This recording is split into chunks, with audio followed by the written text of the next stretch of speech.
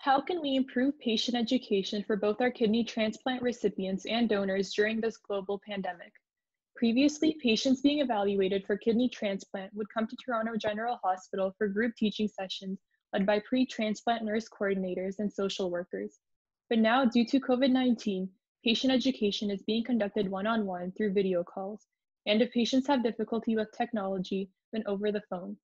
Based on their experience, the pre-transplant nurse coordinators estimate that 40% of patient education has to be done over the phone, making it very time consuming. In addition, it is difficult to gauge patients' understanding of the content without being able to observe their nonverbal communication cues.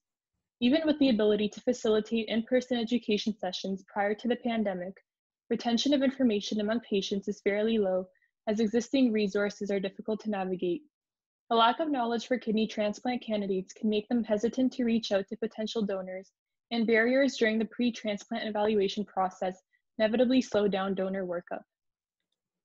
To solve this problem, we proposed the Kidney Transplant Learning Project, or KTLP, a project to transform currently existing educational materials into more engaging formats this includes creating animated videos and summary sheets and incorporating end of chapter quizzes for patients to access from home.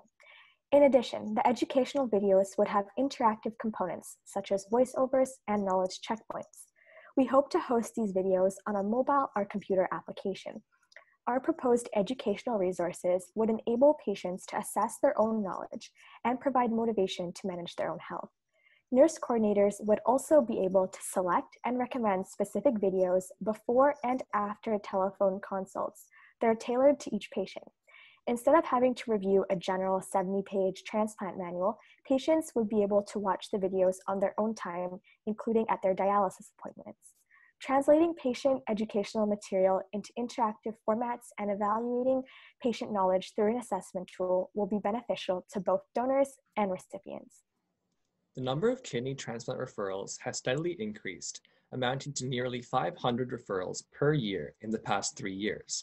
The patient education problems that previously existed are worsened by the pandemic, and we need a team with experience making educational content to spearhead this project. Our team has experience working with nurse coordinators, social workers, physicians, and other content experts.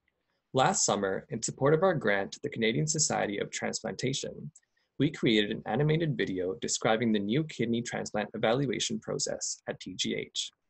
We also have the support of pre-transplant nurse coordinators and are currently recruiting other stakeholders to review scripts and storyboards. Funding for the Kidney Transplant Learning Project will go towards compensating the time of content and video creators, as that is our primary goal. Any additional funding will go toward the creation of the platform hosting the videos and assessment tools. We envision our kidney transplant learning project to address our lack of engaging educational content and knowledge assessment tools. Patients at a world-class transplant program deserve top-tier patient education. And we look forward to hearing your questions and input during the Living Donation Week 2020 Dragon's Den Pitch Showcase.